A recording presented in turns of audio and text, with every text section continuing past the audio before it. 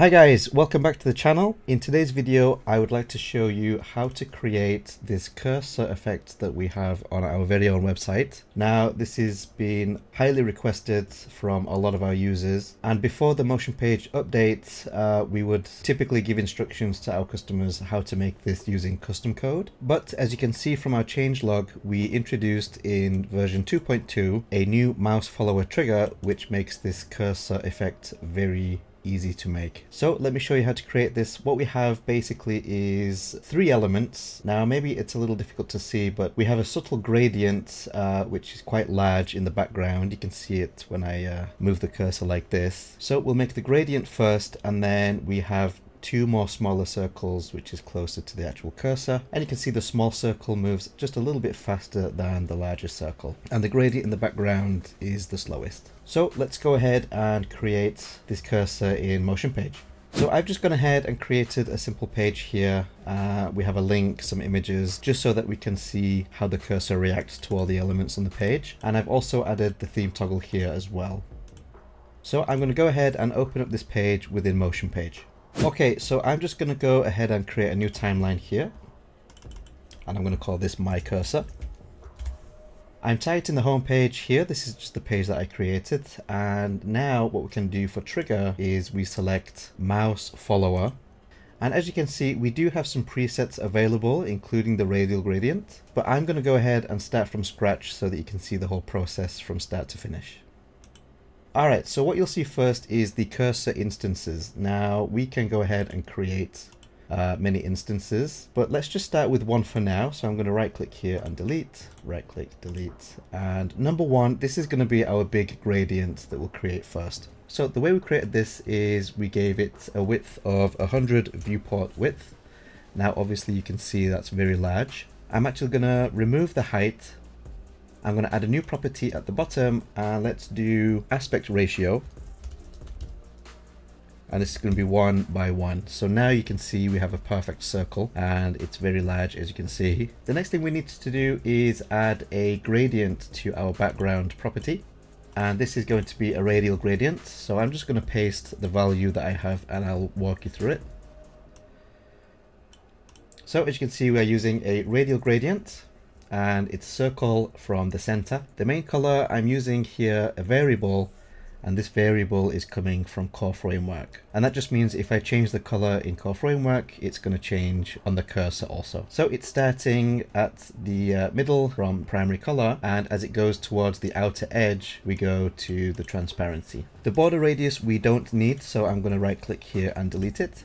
And obviously this primary color is a little bit extreme so I'm just going to add an opacity here of 0.15 just to make it more subtle like so. Now when I move my mouse the gradient is moving a little bit too fast so I can slow that down here and I'm going to change this value to 0.25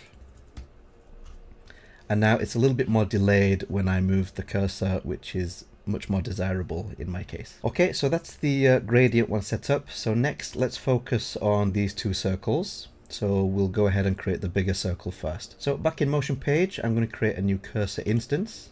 Now you can see here, maybe it's a little bit difficult to see actually, but there's a black uh, border around here. So I can see that my second instance is working. I'm going to change the width and height to be 30 pixels. I don't need a border, so I'm going to delete that one. Border radius also, I don't want. I'm going to change my background color to be white. Uh, so as you can see, obviously I do need the border radius, so I'm just going to add that here again fix my typo. There we go. And the last important one that we need is the mix blend mode. And this needs to be set to difference. So the good thing about this mix blend mode is we can use white here, but because the background is dark, it's always going to be a lighter color. So that means if I change the theme toggle we actually don't need to use a variable because the background change is automatic, which means this mix blend mode being different will automatically become a darker color on whatever background it's hovering over. So you can see here when I hover over a link, for example, or darker text, we can always see it underneath. So you'll notice also when I hover over this link, it gets bigger, which is quite a nice effect by default. And that's because on the hover state here, we have different widths, so it's going from 30 to 80, uh, which is why it's getting bigger, and we are targeting all A tags, as you can see here.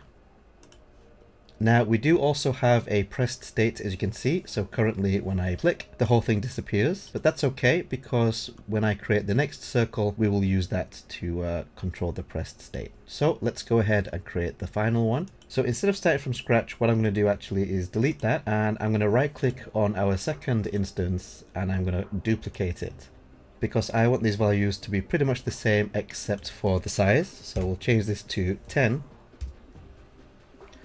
Alright, so because this one is also set to difference, and it's resting on top of the white one, it automatically becomes a darker color. Now, the only issue is that they're moving at the same time, so let's change the smoothness of our smaller circle to something like 0.6, so it's just a little bit more snappy, like so. And now what I'm going to do is I'm going to change the pressed state for this one. And I just changed the background color to be white so that when we click we can see that the smaller circle in the middle becomes 10 pixels and it goes to the white color. And the final small issue that we have now is when we hover over a link, we get this strange effect going on. And that's because our third instance is also having these values. So I don't need the height. I'm going to delete that. And then the width, I'm just going to change it to be zero. So basically we are only left with this hover effect on the second instance, which is much better.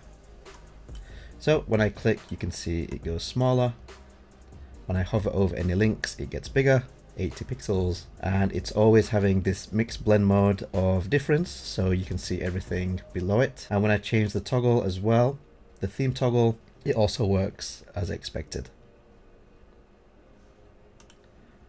So there you have it guys, a very simple tutorial and this is, like I said, it's been highly requested and thanks to the new mouse follower trigger, this is now easily possible without using custom code. And as you can see, it's quite easy to set up. Uh, it takes less than 10 minutes. So I hope you liked this video. And if you did, please don't forget to give it a thumbs up. Please leave your comments below and let us know what you'd like to see next. And we'll see you in the next video. Thank you.